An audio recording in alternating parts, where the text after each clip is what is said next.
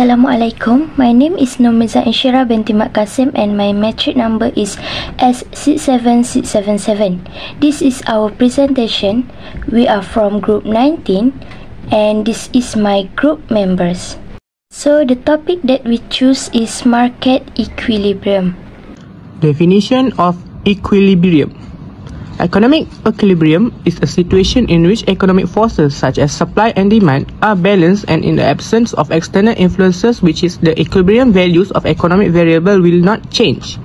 For example, in the standard text perfect competition, equilibrium occur at the point at which quantity demanded and quantity supplied are equal. So the question that we need to explain is the following table represent the market for solar wireless keyboard. Plot this data on a supply and demand graph and identify the equilibrium price and quantity. Explain what would happen if the market price is set at $60 and show this on the graph. Explain what would happen if the market price is set at $30 and show this on graph. This is the table represent the market for solar wireless keyboard. From this table, we can see that at price of $50, the quantity demand and quantity supply are equal, which is 12 unit of quantity. The question asks to plot data on the supply and demand graph and identify the equilibrium price and quantity. So, first we plot and sketch supply and demand graph using the data given, price on y-axis and quantity on x-axis. Next, identify the equilibrium point where quantity and price are equal. The market equilibrium point occurs when demand and supply curve intersect at the equilibrium price of $50 and equilibrium quantity of 12. So now, let's move on to the next question. For this question, I'll explain what would happen if the market price is set at $60.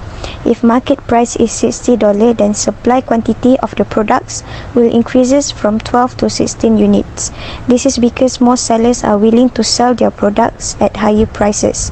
However, demand of the product quantity decreases from 12 to 8 units as customers are not willing to pay higher amount. So there is an excess of supply for 8 unit which is 16 units to 8 unit of quantity. This is shown in the graph where it is shaded. So this will cause the price to decrease to reach the equilibrium point at price market $50 and 12 unit of quantity. Good morning. Just now Nuri explained more about excess supply. Now I am explain more about excess demand. When the price is lesser than equilibrium price level, then there will be excess demand. Excess demand refers to the situation where the quantity demand exceeds the quantity offered. For example, if the market price is $30, then demand quantity of the product increase from 12 to 20 units as more consumers are willing to pay their products at lowest prices.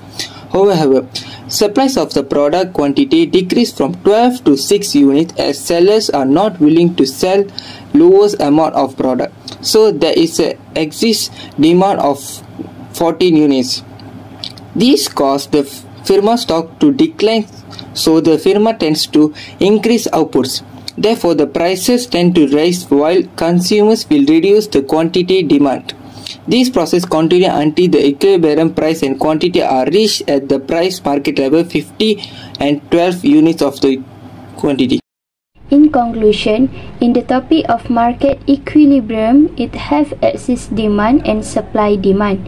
Excess demand or shortage, the condition that exists when quantity demand exceed quantity supply at the current price supply or surplus, the condition that exists when quantity supply exceed quantity demand at the current price.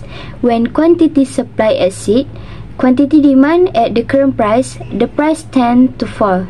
When price falls, quantity supply is likely to decrease and quantity demand is likely to increase until an equilibrium price is reached where quantity supply and quantity demand are equal. So that's all from us about market equilibrium. Thank you.